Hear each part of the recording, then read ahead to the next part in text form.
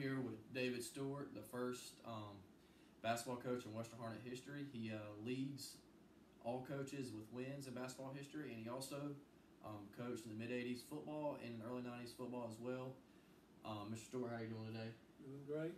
Appreciate you, all your uh, work and research and uh, all the effort you put into the records and compiling all this information for Western Harnett High School. Thank you, I appreciate it. So, Mr. Stewart was a coach. Um, coming out um, in a couple weeks, the Dundee the Records asked me to write a piece about the 78 team, so I'm going to focus on that. But the point of these interviews is to give you an insight on how um, Western Harnett was in different periods of time, um, what the coaches and other athletes have accomplished during their time at Western and after their time at Western, and um, you can learn what they did in their lives and. So, um, so you coached football and basketball. Were there any other sports that you helped with? Uh, later on, I helped in tennis and track, track and field. Okay. Um, so so you coach. So nowadays, whenever a new school school's built, you know they start off with just JV and all this because they're not used to it. So how did y'all? How how was the new school and how did the team come together for, for Well, first of all, the, the building itself and the athletic facilities were not ready when we came in to that starting of the school year of 1977 and 78. Um, there were a lot of adjustments that had been to had, had to be made, and um, as far as athletics, uh, practice facilities were not available. The gym was not ready. The football field and baseball fields were not ready. So we started out uh, at a disadvantage to the other schools in our conferences that had those facilities from day one. right? So where did y'all practice at? Uh, basketball, we started out um, our first few practices at Shawtown, old Shawtown uh, Gymnasium. Had some practices at um, uh, uh, Johnsonville, and some practices once we got started at Ben Haven, uh, at Anderson Creek, and at Boone Trail. Okay, so you're all over the place. So your home games were played at Lillington for a little bit. We played some home games at Lillington when the season started in November, um, and we played some home games at Boone Trail. Okay. And then y'all did. When did you? When was y'all's first official home game? I think the gym was finally ready sometime either late January or early February before we ever got to be in our in a gym to practice and to finally play a regular season game. Right. So on that the '78 team, you had multiple players go to college. So, and I and my my dad played um, was on the team. Because the feeder schools had so many starters. So how did like how did that team? Well, now we did have your dad was on that team. Uh, we started out that first practice uh, at Shawtown. There was standing room only on the floor because we had anywhere from I don't know anywhere from seventy five to hundred kids on the floor Mm-hmm. who tried out those first few practices. Um, and we, you know, tried to give them a, a equal shot and, uh, but we did have quite a few numbers even coming from the Okay. three schools at that time. Right. So is there any member from the '78 team? Are there any memorable games or moments? Oh, yeah, there's plenty of, of memorable, memorable games and, uh, exciting moments, uh, getting the season started, uh, uh, going from place to place and, and practice to practice in different areas, but, uh, we had, a good nucleus coming from Benhaven, from Anderson Creek and Boone Trail of players who were on teams in nineteen seventy-six and seventy-seven that probably totaled up anywhere from sixty-five to seventy wins Right. if you added those three teams together. Right. So we had a good nucleus of, of, of quality players, good kids that came together and they meshed together real, very well, uh, even under the, the, the situation, and you know everybody was worried about well, is this group going to get along with this group and this school with with the other school? But we meshed uh, together uh, like a team should during those days, and uh, uh, as far as uh, memories, I, I remember we we lost the first home game Mm. that we played at Western Harnett to Apex. Uh, we uh, played in a lot of packed houses. We were rated in in the East, and we were ranked in the state. Uh, we drew uh, everybody's best shot. Uh, memorable was uh, obviously winning the district tournament and enabling us to move on to the state tournament, which back then uh, four teams from the east and four teams from the west made up the state tournament in Durham High School in Durham, and uh, we were one of the eight teams that went to uh, this one site in '78. Right. So the South Johnston game, um, that was an overtime game that you won late, right? That's right, and we had played them. First time we played South Johnston uh, was at South Johnston, and which is quite a even back then, and even today was a very uh, good sized gymnasium. Mhm. It was packed. Uh, they were ready for us, and they beat, they beat us in a close game.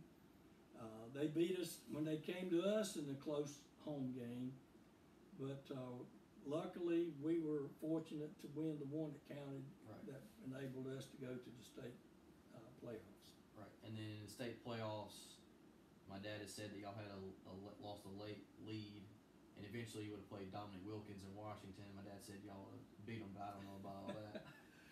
Well, it would have been exciting to have the opportunity to play Dominique Wilkins in uh, Washington Pam Pack. They were a, a powerhouse. Uh, yeah, we uh, we lost a, a late lead in the fourth quarter. Uh, a little point guard, well, not a little point guard, six one, six two point guard for them just got hot Mhm. in the fourth quarter, especially. And uh, we tried several people on him and several defenses, but uh, he just it was he was unconscious at that point. It was a Salisbury who who beat us, and it was uh, it was very disappointing uh, since we had the lead and knowing um, that we let things slip through our fingers at that time. So after '78, you had um, after that you had still had a few good teams. So are there any players or um, from from so you made the playoffs four out of the next five years. Are there any specific players that helped you during that time period that you remember? Well, I know I'll leave someone out, but in those early years, you know, our, our starting five to begin with at Western were your dad, Randall McNeil, uh, Laverne White, Roosevelt Brunson, Charles Washington, uh, Herbert Gilchrist, and I think Willie Cameron started some. Uh, Scotty McGilberry started some. Anthony Elliott, who was called the super sub, Mm-hmm. uh, averaging double figures and did not want to start. Uh, those, uh, then you got, you know, I, I'll leave some kids out. I know uh, Alfonso Mosley down in the next few years. Uh, the Boyd triplet, uh, not triplets, but the three brothers, Mm-hmm. uh, Michael Boyd, uh, Gerald Boyd, and Anthony Boyd, all just super kids. Uh, I, I'll leave some out if I start going back Right. farther than that, but uh, um, so many on that team to begin with, uh, who's, who others who came down after them looked up to and, and tried to emulate and play uh, uh, with the example that they left. Um, so after winning 17, 18 games a year, nowadays most coaches would Western Harnett would be a springboard to somewhere else. Why, why would you say you stayed at Western Harnett? Well, this I've always this was home for me. Uh, I went through school at, ben, at Boone Trail. Uh, I, I, they always say you can't come home, but during my career, uh, I enjoyed Harnett County, and um, I ended up being an assistant principal at Ben Haven. Uh, I taught at Anderson Creek and coached. I uh, was eventually principal at Boone Trail. assistant principal at Western Middle, uh, teacher, coach, athletic director, assistant principal, and finally principal at Western Harnett High School. So uh, you can come home in some in some situations. So it never occurred to me, even with the success we were having, I, I can't take the credit for that. I give that to the athletes and to the student body and to the student athletes. But uh, never occurred to me to look for another position Right. as far as coaching. Um, let's flip to football. So football, um, in the mid '80s, Western hadn't won more than two or three games in a year, and you get there, um, some great players, um, and you end up going eight and two. So how how were y'all able to turn two to three wins into eight? Well, let me let me start out by saying the the first few years of the program had good athletes, good coaching. Uh, the head coaches were, uh, worked hard, and all the coaches worked hard, and athletes were in today's program would probably have won several many games in the conference, but we were in a tough football conference. Uh, we didn't have a practice facility. We had to go off campus to a, a uh, a field to practice that uh, Mr. Um, Thomas Farr provided for us. Uh, those kids during that day put in the hard work, and once we did get to have some success, it was it was those who started out those days in in, in 1977 that I wish could have had some of that success and enjoyed what these had, but. Um, we had some good kids come along who were dedicated, who got into the weight room and uh, came out to summer workouts and put the time into it, went to camps, uh, just made the difference in, in becoming a, better program. And we had good coaches who put in the time, uh, who helped out so much. Right. So and then in the eight and two season, the two losses you had were by four, and I think I think it's like seven to two, or and two close losses. So very close to a ten and no season. Um, so my next question is, you've already kind of mentioned on it, is what you, what did you do after you stepped down from coaching at Hart? Uh, after I stepped down from coaching, I went into administration.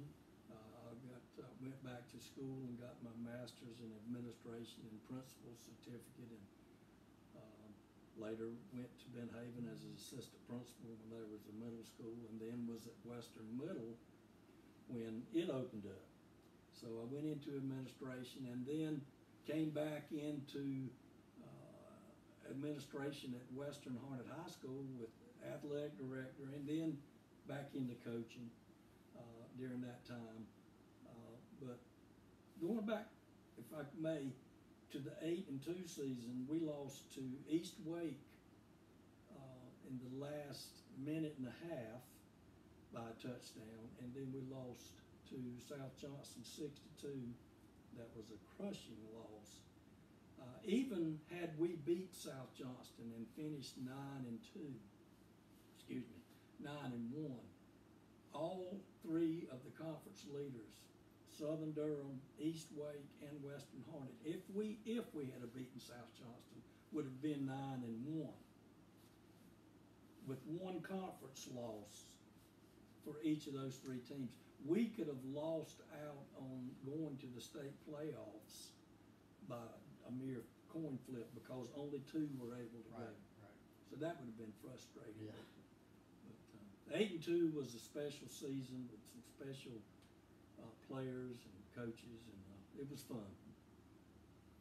All right. So I don't think I have any more questions or anything you want to add. Anything? No, um, just uh, so proud of the uh, Western Harnett Eagles and the heritage that we have, and uh, just hope that uh, that those uh, today can look back and know that there's been a lot of hard work put in by the student athletes, by the coaches and uh, administrators and, and family members to uh, strive to make things better for y'all. So uh, thank you for this and go Eagles. Yeah, thank you for joining me. Um, this is the first of many um, interviews. Um, just make sure you subscribe to our YouTube page so you can be we can get enough followers so you can be alerted and you also can watch many of our home games for sporting events.